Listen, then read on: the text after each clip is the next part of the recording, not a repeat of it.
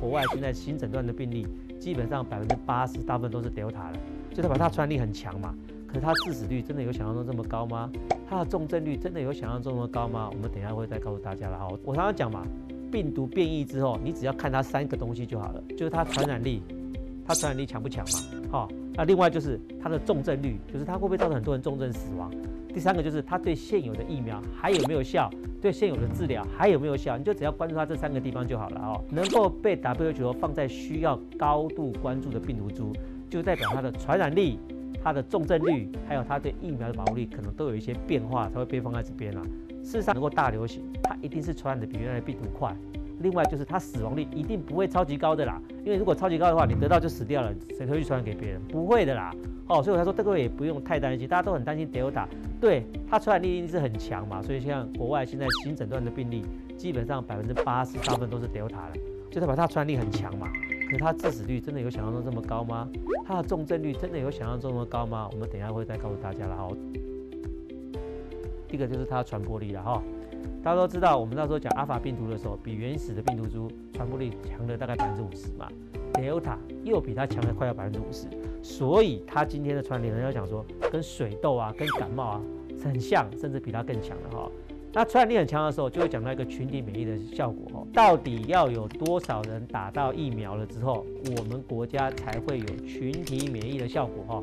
很简单，假设今天原始的病毒株感染率一就是一个可以传三个，就是 R 零值嘛。我看之前跟各位讲过，就是一减掉 R 零分之一啦，这个应该会算吧。一减掉三分之一等于三分之二，三分之二就大概等于百分之六十七，百分之六十五左右，就是百分之六十五能达到，基本上就 OK 了。阿尔法前一阵子最夯的哈，他一个人大概可以传到四到五个人哈。我们先假设他传四个人好了，所以要多少人打到疫苗？就是一减掉四分之一，七十五。好，Delta 一个人大概可以传到五到八，我们抓六个人啊。所以一减到六分之一就是六分之五哈，就是大概大概是百分之八十五、八十六左右。所以基本上要有这么多人打到疫苗，而且是讲完整两剂哦哈，因为两剂才有完整保护力嘛哈，绝对不是现在我们从三级降到二级就可以松懈的好不好哈？第二条病毒还有哪个很可怕？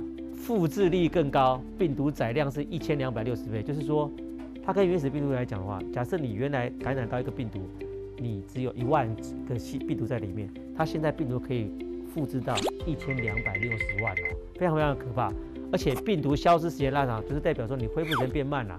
假设今天你得到一个原始病毒株，你可能只要病两两周，可是 Delta 的话，你可能要病三周或者是四周，所以它传播期更早。什么意思？之前的潜伏期大概七天嘛，现在潜伏期大概只有三天四天而已。所以在你有症状的前三四天，其实你就已经在感染别人了，跟之前病毒又不一样哦。这样讲，大家可能有点迷糊哦。我看到大家看一张图，你就知道了，就长这样。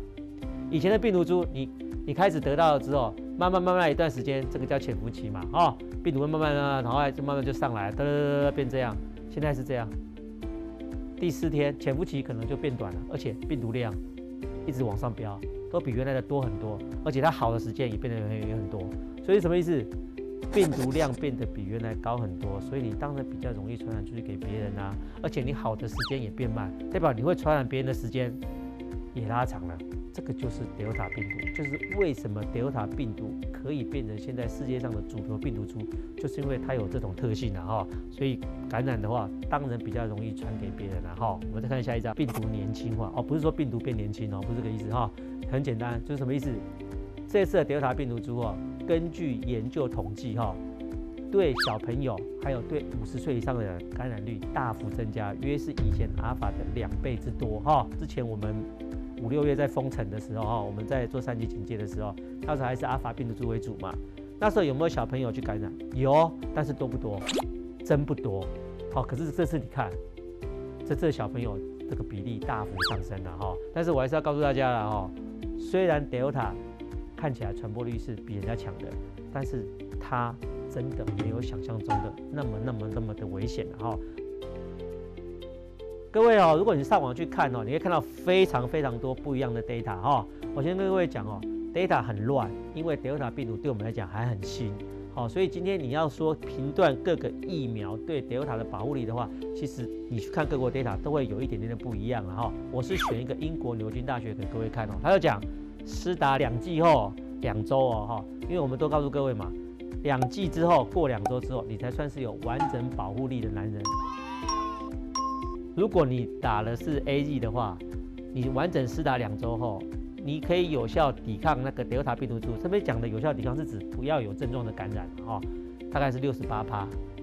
那如果你打的是 n r n a 疫苗，比如说辉瑞，大概是八十五趴。莫德纳的 data 跟这个差不多，哈。那如果又隔了好几个月之后，哈，因为大家现在不是在讲嘛，说，哎，疫苗到底可以保护你多久，哈，这个不知道，这个是他们隔了大概三四个月之后再测的，哈。就发现 A E 会掉到六十一趴，辉瑞会掉到七十五趴，哈，这个就是为什么国外有人在讲要打第三剂的其中一个原因啊。当然原因很多，这是其中的原因啊。哦，因为很多人都在问我说，哎，我打完疫苗之后，我可以像很多的其他疫苗，比如说毕竟肝炎疫苗啊，干嘛打完就终身免疫吗？或是肺炎链球菌疫苗打完就终身免疫吗？对于新冠而言，现在看起来抗体的浓度确实会随着时间慢慢的下降，但是保护力还剩多少？到底什么时候要追加第三季，甚至是第四季，真的不知道了哈，真的不知道。我只是告诉各位，感觉抗体会下降啊。啊，另外就是对德尔塔病毒株有没有效，它还是有效哈，不但是可以预防有症状的感染，对一些重症更是有效，好不好哈？